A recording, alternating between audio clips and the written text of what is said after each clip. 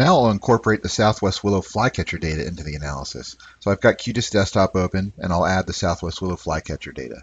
So I'm going to click the Add Vector Data menu, browse to my Lab 4 data folder, and select the Sierra Willow flycatcher.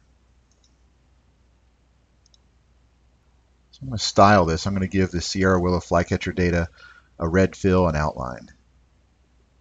So click the simple fill. For the colors, choose red. And for the border, I'll choose the same red. Click OK. Now I'll explore my data a little bit. Zoom into this section down here.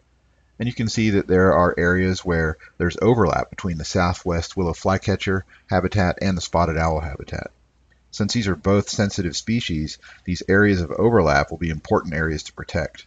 I can certainly conduct a spatial query to select the southwest willow flycatcher polygons that overlap the spotted owl polygons.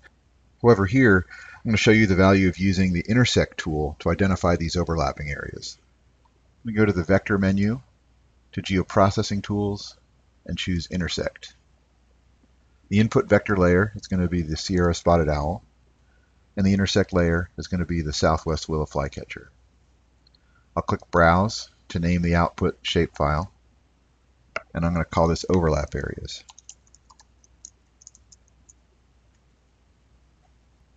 I'll click OK and close.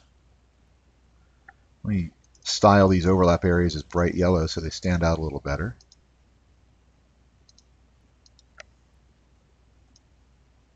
Click OK. I'm going to zoom in a little bit tighter to one of these overlap areas. You can see this yellow area is the area of overlap between these two habitat types. In the next task, I'll use the union and dissolve tools to enhance this analysis.